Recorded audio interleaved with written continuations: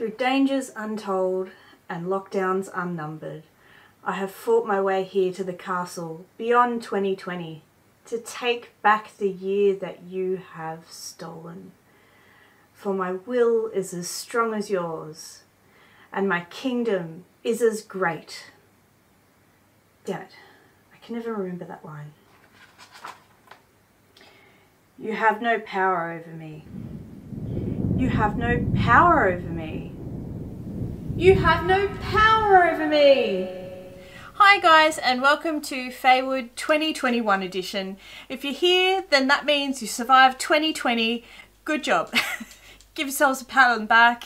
What a year. Uh, far out. Hoping for a much better 2021 but uh, as a lot of people have said, let's have no expectations because who knows, we don't know at this point. But you know what? One thing that will cheer us all up, I think, is doing a giveaway. So I've been meaning to do a giveaway for some time and I thought it would be a perfect first video back for 2021. I was originally going to do a giveaway when I hit the 2000 subscriber mark but so many things were happening in the world. We were, you know, in lockdown, I believe, at around that time. It just wasn't a great time. So I figure now seems like a reasonable time to do a giveaway. I am going to make it international. Uh, I will say though that postage is still really slow all over the world. So uh, keep that in mind. I can't do anything about the post, but I'll try and make it a trackable type of situation so that whoever wins will at least know where in the wide world their parcel is, um, even if it does take a million years. so with that being said, I'm going to have a similar situation that I've had with previous giveaways, if you've been here with me for any of those where I have a random generator pick the winner and then, you know, contact them and organise to get your details and that sort of thing um, to send you the prize. I'll put all the details down in the description box um, about it so that you can have a read. You do, do need to be a subscriber uh, and you do need to comment something uh, just letting me know that you want to enter. So put whatever you like for this one, um, but just mention in the comment that you'd like to enter and that way I can make sure that I'm selecting someone who's interested in it. So I've actually held on to this for some time and what I'm giving away is the Labyrinth book. This is just a plain sketchbook or diary or whatever you want to use it for and it looks just like the Labyrinth book uh, that Sarah uses in the movie so I thought that was really cool. Uh, if anyone is interested in this and doesn't win or wants to buy it from themselves, I'll put a link to where I got it. It was from Redbubble, so um, I thought it was just such a cute little idea. I do believe there are now some uh, of these books on Amazon that seem to be because I don't. This wasn't licensed. I don't believe. Um, I don't think anything from um, Redbubble is licensed. If I'm correct, I'm not sure. Um, I think it's independent artists. Does anyone know? Uh, there's some great stuff on Redbubble anyway, um, but I did see one that had, you know, Jim Henson across it, so it looks like it was a licensed version. I'll try and link that one as well so that you can get uh, either one of those. This one is from Redbubble though. And then to go along with that, so it's a total Labyrinth theme, so hopefully a Labyrinth fan wins this. I have a little set of the goblins that go with the Labyrinth board game. Now, I don't have the board game to give away with this, um, but I thought it would just be fun to give away the goblins because you don't need to play the game, I don't think, to have to enjoy the little minis. So, and I have my own set as well. uh, so we can be twinsies.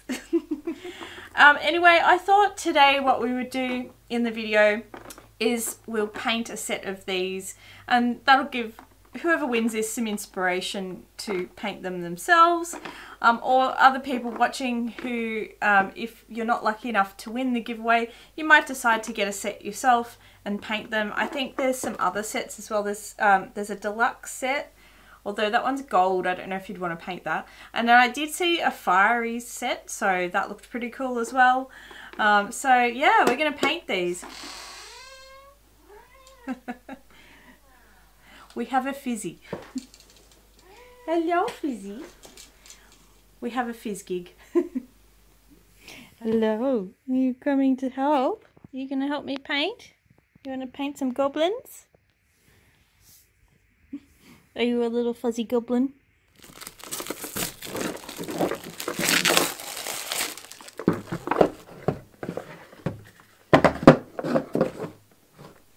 Well, these little uh, cards go with each of the pieces and that's going to help me a little bit to remember the colours of the goblins, although I might need to look up some pictures still just to get some inspiration.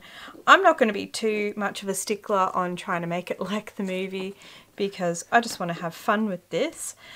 Now, I am going to try to undercoat these with my airbrush, which is actually just sitting over here. Um, Now, I am very new with the airbrush, so hopefully this goes okay. Uh, but we shall see. I think we're gonna make it. Oh, piece of cake.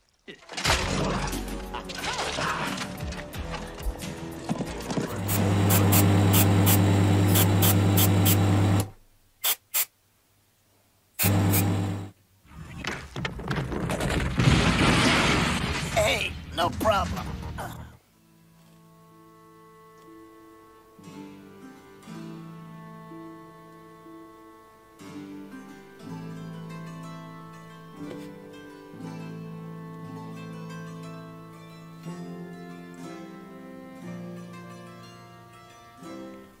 Can we just appreciate the chrome finish of this? I am loving this stuff. It's this liquid chrome uh, Molotow liquid chrome stuff. You can use it in your airbrush and everything as well. It's not cheap, but it's really cool. To get a bit of a rusty look, I used a bit of a wash of this brown and then washes of other colours as well. The wash of black acrylic on top of the silver seeps into all those little nooks and crannies and really starts making it look like metal.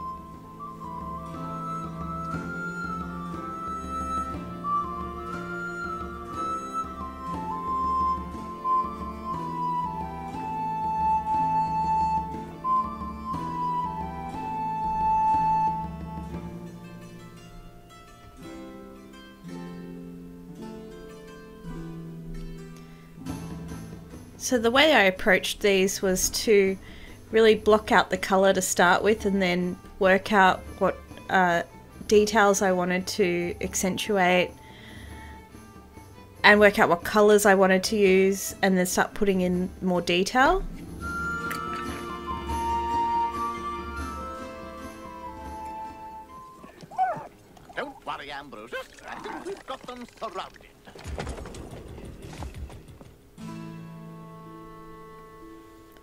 I actually used the same acrylic paints that I bought for my airbrush for this and they were quite good. They were nice and matte actually, more than my student acrylic paints were. Um, I'm still kicking myself a little bit with the gloss that I put on the end because I feel like it was a bit too glossy. But these were very nice paints.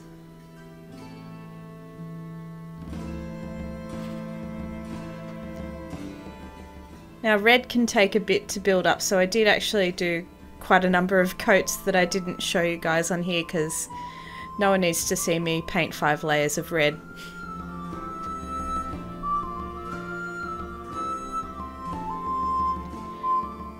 And I slowly started to put in some of the deeper colours with this um, little critter that the goblin's riding just really building up those shadows slowly, slowly.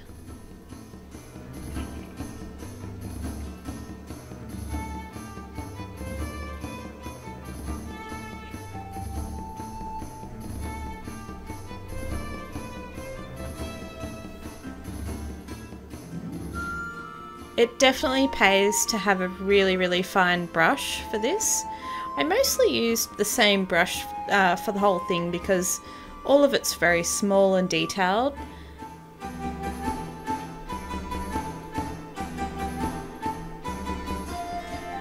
What I found as well is it really also pays to accentuate contrast. Uh, I think given the size of these, when I was painting a few bits and it wasn't too contrasted, it was difficult to see all of the detail of the um, minis. So then I started to really pump up that uh, contrast and make it show up a lot more. And then I was starting to really like the way it looked.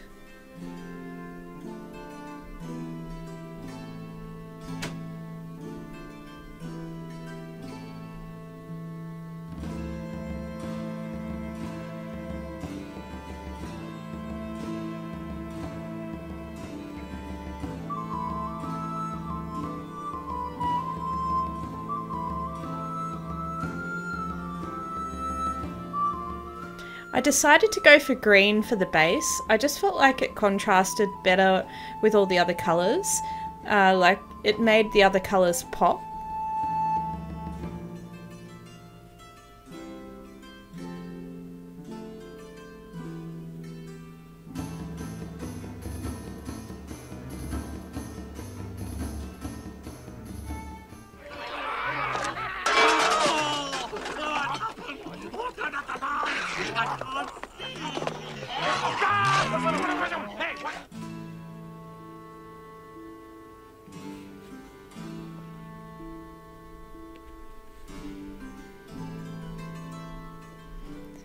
Now this one was quite detailed at certain parts. Um, the little critter that's on the end of the pole is tiny, so it's really hard to um, get the detail of that.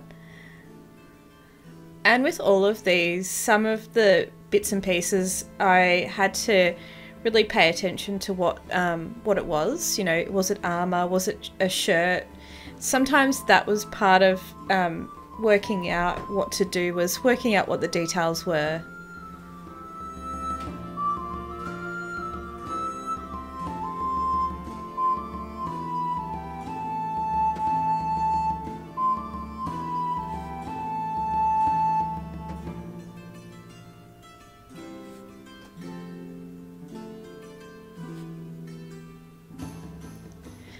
Highlights, I always just try and think about where would the light hit and you know um, really pumping up the bits that sort of protrude. So with the face you know the cheekbones protrude um, maybe on top of the um, eyebrows the forehead the bridge of the nose things like that. Um, or maybe the uh, shoulders elbows and things depending on how the thing is situated So try and think about that, I guess, when you're working out where to put highlights. Fire! Hey! I just fired you! I did the armor a little bit different on this guy. It was really hard for me to not use the chrome because I love that chrome stuff so much. So I was like, no, Lauren, you can step away from the chrome and do a different coloured armour. So I did this guy in a kind of green iron looking armour instead.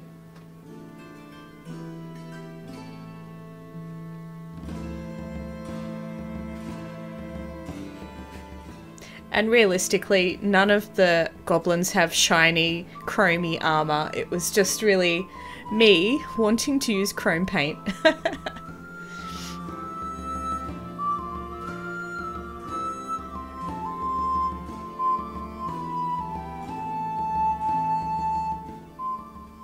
I did sneak a little bit of chrome there though for his pickaxe.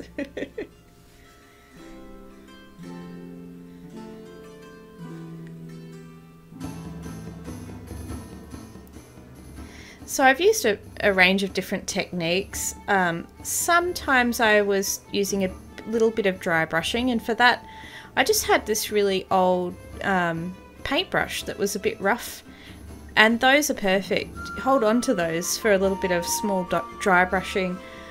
And other parts, especially over the chrome, I liked using a bit of a wash. And then if, if you do it carefully, it seeps into the crevices.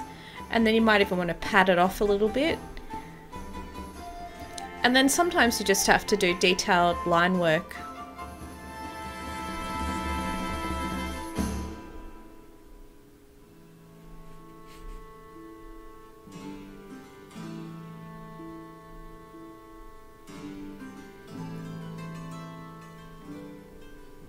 The beauty of acrylic is you can always paint over it, so if you make a mistake, doesn't really matter, you can fix it up.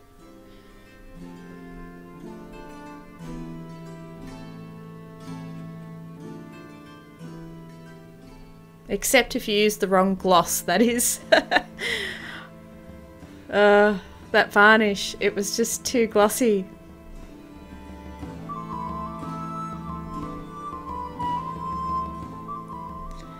Now the faces were so small, this was really challenging, especially um, getting into like little details and you know doing like eyes and stuff like that. That was take your time. Um, a wash might be a way to go for that too, because it might soak into the um, wrinkles and crevices that you want it to soak into.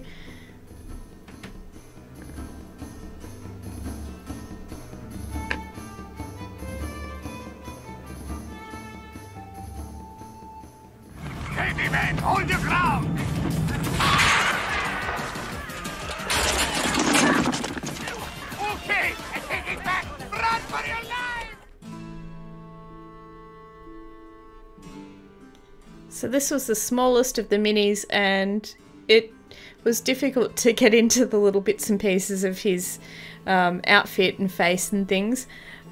And there wasn't a lot to him either, so I was really trying to accentuate certain bits because there wasn't much uh, to focus on.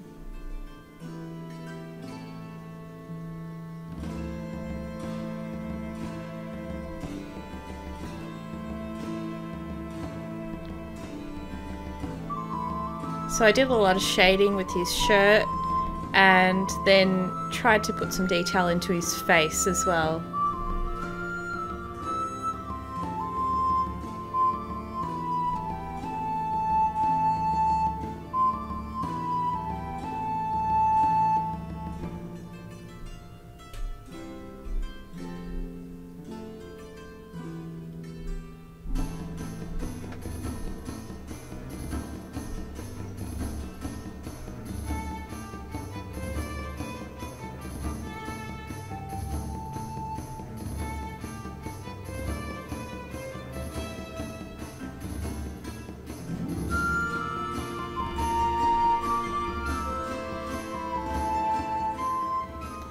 And then for the base, I didn't want it just a flat green, so I decided to dry brush a little bit of my uh, rubbing bronze and then a little bit of gold leaf on top as well.